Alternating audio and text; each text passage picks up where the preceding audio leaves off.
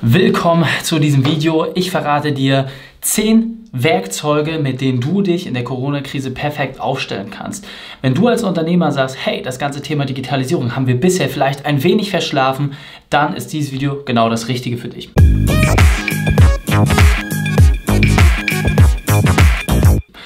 Ganz wichtig an der Stelle, das ist kein gesponsertes Video und das bestimmt auch keine Reihenfolge. Vielleicht kennst du sogar das ein oder andere Werkzeug schon. Die Frage ist, wie nutzt du es? Und deswegen gehen wir jetzt mal diese zehn Werkzeuge Schritt für Schritt durch mit den unterschiedlichen Einsatzmöglichkeiten, die dir zur Verfügung stehen. Das erste Werkzeug und zwar Zoom. Zoom ist wahrscheinlich das momentan gefragteste Werkzeug, um Telekonferenzen umzusetzen. Es funktioniert relativ simpel. Du nimmst Zoom, schickst es einfach jemandem als Link rüber. Er braucht sich da nicht anzumelden, braucht keine App vorher großartig zu installieren. Die läuft direkt über Chrome zum Beispiel. Und dann kann derjenige per Kamera, Ton oder entsprechend per Chat an der Konferenz teilnehmen.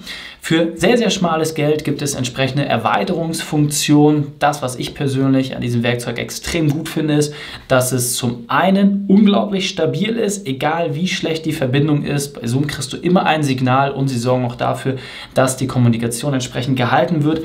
Und auf der anderen Seite ist es wirklich simpel zu nutzen. Egal was für ein Gerät du hast, egal wie technisch intelligent du bist oder auch die Personen, die auf der anderen Seite sitzen, die dir zuhören sollen, du kannst mit diesem Werkzeug extrem viel machen. Deswegen hier einmal die Einblendung zu dem Zoom-Werkzeug. Wir werden es auch entsprechend hier verlinken, damit du es gleich für dich nutzen kannst.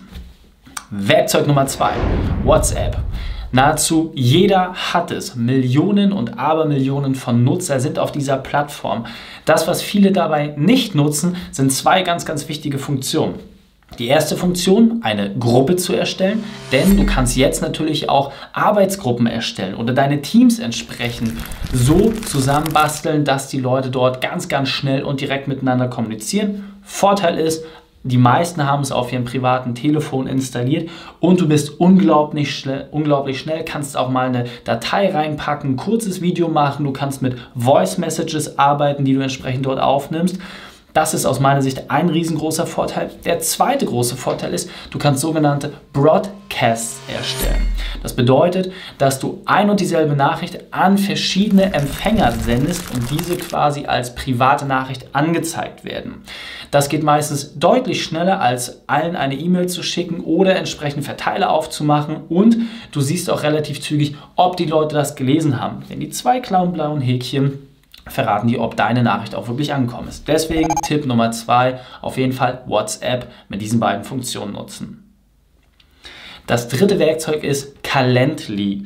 Calendly ist ein Werkzeug, das mir persönlich unglaublich den Tag vereinfacht hat. Als ich es kennengelernt habe, war ich ehrlicherweise sehr, sehr skeptisch, weil dieses Werkzeug ist dafür da, dass du Termine automatisiert buchen lassen kannst. Das bedeutet, du erstellst verschiedene Termintypen und dann schickst du einer Person, die mit dir entsprechend ein Gespräch, ein persönliches Treffen oder eine Abstimmung buchen möchte, einen Link. Diese Person hat dann Zugriff auf deinen Kalender, wo du vorher entsprechend die Verfügbarkeiten eingetragen hast und kann dann für sich ganz automatisch einen Termin bei dir buchen. Riesiger Vorteil, und so nutze ich es zum Beispiel, meine Telefonzeiten sind beschränkt auf den Dienstagnachmittag und Freitagvormittag. Das heißt, außerhalb dieser Zeiten kannst du gar keine Telefonate mit mir buchen. Meine persönlichen Treffen sind begrenzt auf den Zeitraum von Dienstag bis Freitag und zwar nur in der Zeit von 12 bis 13 Uhr. Anderen Zeiten kannst du mich gar nicht persönlich antreffen. Und so ist es einfach, wenn jemand sagt, hey, ich würde mich gerne persönlich mit dir treffen, wann können wir das machen? Zack, schicke ich ihm die entsprechende Linkkategorie rüber in meinem entsprechenden Lokal, wenn es dann wieder aufhat.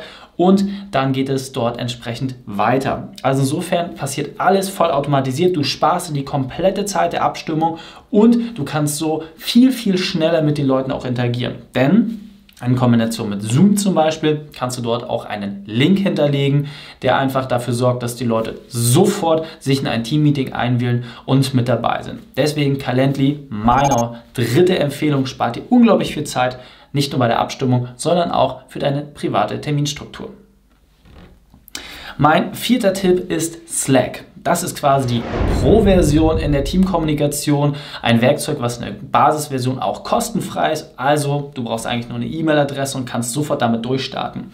Slack ist quasi die erweiterte Funktionalität, die du bei WhatsApp hast. Du hast dort ein Nachrichtenprogramm, wo du verschiedene Räume aufmachen kannst verschiedene Personen dort mit einladen kannst, aber du kannst auch direkt per Nachricht kommunizieren. Das Ganze funktioniert wieder auf allen Geräten, also auch mobil und du kannst darüber auch entsprechende Dateien und Links verschicken. Vorteil an Slack ist, es hat eine Suchfunktion. Das heißt, du kannst verschiedene Themenchannel aufmachen. Beispielsweise, wenn du sagst, hey, mein Vertriebsteam braucht einen eigenen Kanal, mein Marketingteam braucht einen eigenen Kanal und das Geschäftsführerteam braucht einen eigenen Kanal, dann seid ihr jeweils in den Kategorien und auch nur die Personen, die wirklich dabei sein sollen, sind dann in den Kanälen unterwegs. Darüber hinaus kann man auch offene Kanäle machen, wo jeder mitdiskutieren kann. So schaffst du quasi eine riesengroße Küche oder entsprechende Meetingräume, wo die Leute sich virtuell treffen können. Was ich, wie gesagt, zum absoluten Vorteil finde bei dieser, bei dieser Plattform, bei dieser Möglichkeit ist, ist es zum einen extrem schnell und wie gesagt, du hast eine Suchfunktion. Das heißt, wenn du fragst, hey, wir hatten noch damals diese Idee im Marketingbereich, weiß noch einer, wie das war? Zack, zack, zack, kurz reingegangen und dann gehen die ganzen Nachrichten entsprechend nach oben und du siehst, klack, hey, wir haben vor drei Wochen um die und die Uhrzeit genau über dieses Thema diskutiert. Hier ist das Ergebnis, was wir damals festgehalten haben. Und auch Slack gibt viele Möglichkeiten, es entsprechend zu erweitern oder Dinge zu implementieren. Insofern aus meiner Sicht das mit Abstand beste professionelle Kommunikationswerkzeug, das du nutzen kannst. Kommen wir zu Werkzeug Nummer 5. Das ist Mail Butler. Mail Butler ist etwas, was speziell für die Mac-Anwender da ist. Es gibt auch ein Pendant für die Windows-Nutzer. Ich weiß es nur momentan nicht, weil ich selber Mac-Nutzer bin. Mail Butler ist etwas, was Outlook in vielen Teilen auch schon hat und mit Extended Versions äh, entsprechend auch umsetzen kann. Mail Butler, Mail Butler hat den Vorteil, dass du siehst, wer deine E-Mails gelesen, du siehst auf welchen Geräten, wie häufig sie gelesen worden sind. Du kannst dir Erinnerungen Erinnerungsfunktion dort eintragen. Du kannst E-Mails auch wieder zurückholen, zumindest in einem gewissen Zeitraum. Und so geht dir einfach nichts unter. Das heißt, die Verbindung aus Mac Mail und Mail Butler sorgt dafür, dass du einfach mehr Übersicht behältst. Und was ich persönlich extrem schön finde, ist, du hast die Funktion, dass du E-Mails zu einem späteren Zeitpunkt versenden kannst bedeutet, wenn dir irgendwie abends noch spontan eine Idee kommt oder du etwas unbedingt abarbeiten möchtest, dann kannst du es machen. Aber um 23 Uhr E-Mails verschicken ist jetzt vielleicht auch immer nicht das Beste, was man machen sollte. Deswegen kannst du einfach auf den Folgetag eine E-Mail entsprechend datieren und dann wird sie auch zu diesem Zeitpunkt rausgeschickt. Ich persönlich finde dieses Werkzeug unglaublich wertvoll. Ich weiß, Outlook bietet einige dieser Funktionalitäten, aber nicht im vollen Umfang. Deswegen hier einfach nochmal nachgucken, was genau du mit diesem Werkzeug Mail Butler umsetzen kannst. Kommen wir zu Werkzeug Nummer 6 und zwar LinkedIn. Jetzt kann man sagen, ja, LinkedIn als Social Media Plattform, als professionelle Plattform, das kenne ich ja schon. Die Frage ist, wie intensiv nutzt du es? Es gibt nämlich die Möglichkeiten, dass du zum Beispiel über den Sales Navigator das, was du sonst auf Messen gemacht hast, das heißt qualifiziert Kontakte anzuschreiben und auch entsprechend vorzusortieren, dass du das jetzt online machst gerade in der aktuellen Phase, wo es schwierig ist, wo alle großen Messen abgesagt worden sind, ist das eine extrem gute Plattform. Darüber hinaus, wenn du dein LinkedIn-Profil ordentlich aufpolierst, die richtigen Informationen reinpackst und es vor allem auch ansprechend machst, das heißt, dass du kurz und knackig den Leuten zeigst, hey, was ist deine Superpower, dann wirst du es auch deutlich leichter haben, mit anderen Personen in Kontakt zu kommen. Deswegen meine große Empfehlung, LinkedIn-Profil nochmal entsprechend aufpolieren, aktuelles Foto rein und dann dort ordentlich Gas geben und proaktiv auch mal Leute anschreiben. Das nächste Werkzeug ist Facebook.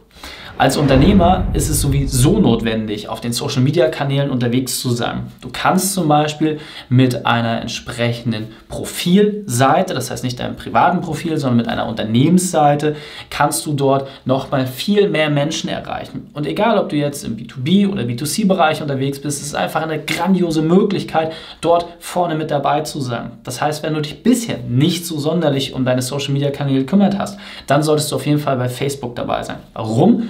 Momentan sind die großen Werbeetats von sehr, sehr großen Firmen raus. Das heißt, da entsteht ein Vakuum. Zum aktuellen Zeitpunkt kannst du dort sehr, sehr günstig an Personen herantreten und das wird häufig unterschätzt.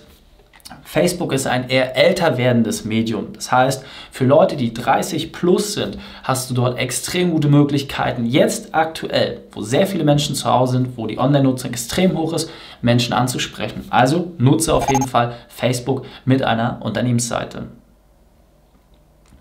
Das achte Werkzeug ist Gmail. Ist auch etwas, was vielleicht den meisten geläufig ist. Die Frage ist einfach, wie intensiv nutzt du es? Gmail bietet dir die Möglichkeit, mit vielen zusätzlichen Werkzeugen entsprechend zu arbeiten. Eines meiner persönlichen Lieblingswerkzeuge ist zum Beispiel Google Forms. Dort kannst du entsprechende Abfragen relativ einfach darstellen. Du kannst dort Videoabfragen machen, du kannst verschiedene Klickfelder einbauen oder entsprechend auch direkte Abfragen mit Textfeldern. Das Ganze wird dann entsprechend einer E-Mail zusammengetragen und an dich geschickt. Du brauchst keine Homepage, gar nichts, du brauchst keine Programmierfähigkeiten. Du musst einfach nur wie ein Sechsjähriger verschiedene Felder zusammenschieben und diese beschriften. Zusätzlich kannst du das Ganze sogar in deinem eigenen farblichen Design anpassen. Diese ganzen Funktionen und noch viele weitere bietet die Gmail, zum Beispiel auch in der Cloud über Google Drive, verschiedene Daten in sehr, sehr großen Mengen zu transferieren oder auch, dass du entsprechend viele Excel-Tabellen in die entsprechenden Dokumente online überträgst, auf die dann viele Leute Zugriff haben. Deswegen meine Empfehlung an dich, schau dir nochmal Gmail wirklich genauer an, schau dir an, welche Zusatzwerkzeuge dort verborgen sind und nutze, nutze die für dich wesentlichen Werkzeuge. Das neunte und vorletzte Werkzeug ist LexOffice. Als Unternehmer ist es extrem wichtig, dass du deine Steuern im Griff hast. LexOffice nimmt dir dort extrem viel Arbeit ab. Das heißt, du hast die Möglichkeit, automatisiert deine Buchhaltung erledigen zu lassen. Ja, du hast richtig gehört. Automatisiert. Das heißt, die Unterlagen, die du früher zu einem Steuerberater gebracht hast, müssen jetzt nur noch abfotografiert werden und dann werden diese automatisiert zugeordnet. Natürlich ist es gut, nochmal einen Profi rüber gucken zu lassen, aber 90% der Arbeit ist bereits erledigt, wenn du den Beleg abfotografiert hast. Das spart extrem viel Zeit und vor allem gibt es dir die Möglichkeit, viel, viel schneller Steuermeldungen zu machen, eine Übersicht über deinen entsprechenden Kassenbestand zu haben und vor allem für sehr, sehr geringes Geld auch Finanzplanung zu machen. Und auf einen Knopfdruck kriegst du auch die aktuellen Zahlen gezogen damit du einfach bei Bankgesprächen beispielsweise sofort den aktuellen Stand auch wirklich zur Verfügung hast. In diesem Sinne einfach mal LexOffice anschauen. Und das zehnte und letzte Werkzeug sind Online-Banken. Stellvertretend möchte ich hier Holvi hervorheben.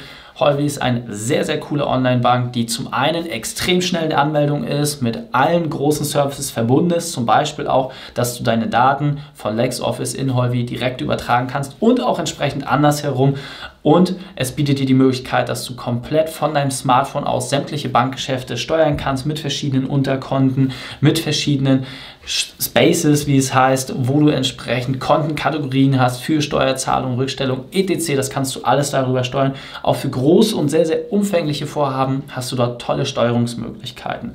Deswegen meine Empfehlung, wenn du noch keine Online-Bank hast, dann diese auch entsprechend mal zu nutzen. Also meine Empfehlung, geh zu Holvi. Das waren jetzt die zehn aus meiner Sicht wichtigsten Werkzeuge, die du als Unternehmer nutzen solltest, damit du entsprechend jetzt aktuell in der Corona-Krise perfekt aufgestellt bist. Meine Frage an dich ist, welches dieser Werkzeuge benutzt du bereits und was sind vielleicht auch noch die Themen, wo du sagst, hey, das fehlt mir noch, das heißt die 11, die 12, die 13. Schreib es mir gerne unter dieses Video. Nochmal, das war keine gesponserte Folge, das heißt, das sind alles Sachen, die wir komplett aus eigener Erfahrung heraus gemacht haben und Dinge, die wir empfehlen, von denen wir selbst extrem überzeugt sind. Wenn du dieses Video cool fandest, lass mir auf jeden Fall bitte den Daumen da und das Abo, denn hier folgen natürlich noch weitere coole Tipps für dich als Unternehmer. In diesem Sinne, viel Spaß bei der Umsetzung, dein Reik.